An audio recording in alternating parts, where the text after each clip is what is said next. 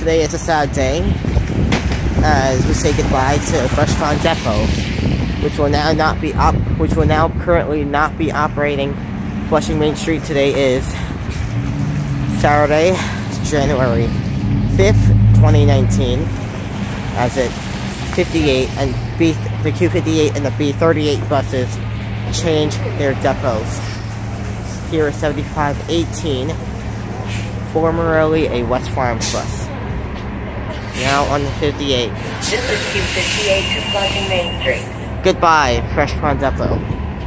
We will miss you on in Flushing.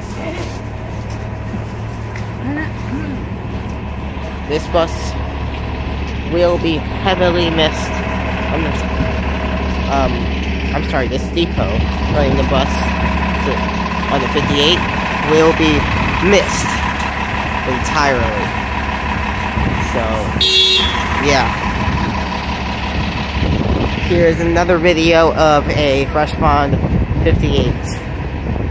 As we say goodbye to these wonderful fresh ponds forever.